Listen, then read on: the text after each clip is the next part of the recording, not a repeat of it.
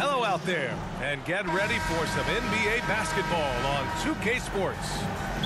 This is Brian Anderson, joined by Grant Hill and Richard Jefferson. Allie LaForce will be our reporter from the sideline. We've got the Lakers taking on the Milwaukee Bucks. Here's Robertson. Smith with it. And Davis picks him up defensively. Oh, and there's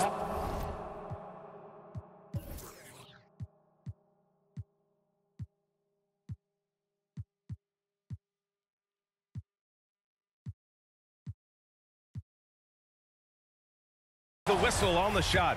So two free throws for him coming up. First personal foul. Hey, if you can't block it, sending him to the line can be the next best thing. At the line for Milwaukee, Oscar. It's both from the stripe.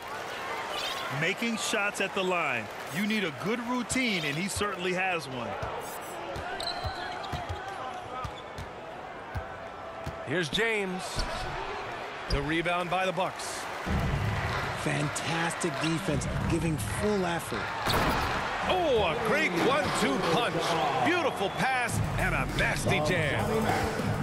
Just a textbook lead pass right there, putting it right where it needed to be.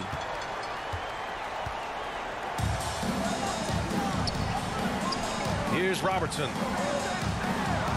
Just taking it right to the rim, and no one was there to greet him. Easy possessions like that literally are just a gift. You just dream of them. He'll gladly take those.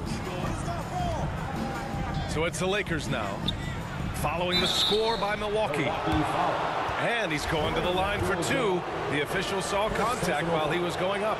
I like when Davis looks to get physical and draw contact, using his size to his advantage. And he can't make the second free throw either. He missed them both.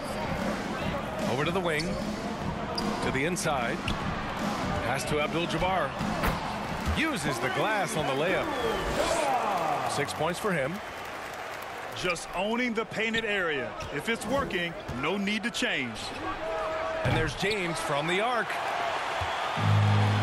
And he misses again. Now 0 for 3. Here's Abdul-Jabbar.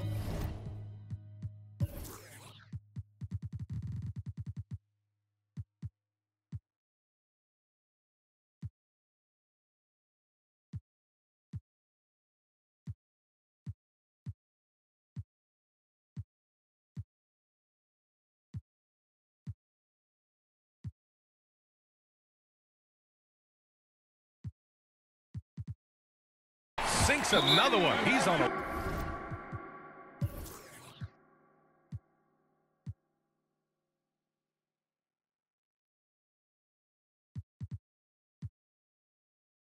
They quiet, they whispering. They dry, I'm dripping it. They crying, no tissue man. Hey, I got the.